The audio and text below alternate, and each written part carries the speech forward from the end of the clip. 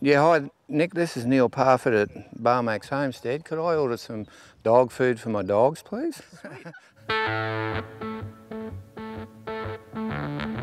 Throughout history, there have been a series of innovations that have each taken a huge chunk out of the friction of moving things around. Project Wing aspires to take another big chunk of the remaining friction out of moving things around in the world.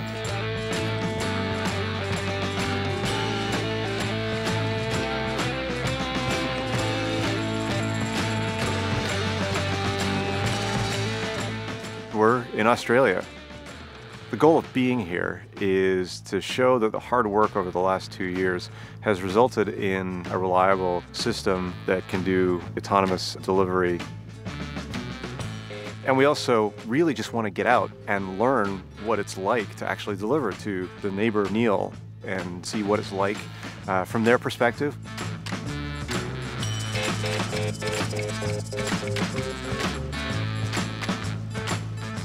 It's years from a product, but it is sort of the first prototype that uh, we want to stand behind.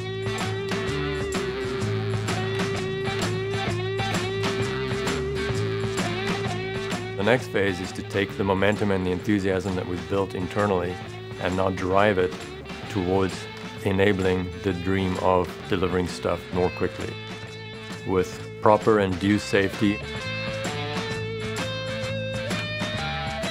working together, we can get to this future, I think, surprisingly quickly.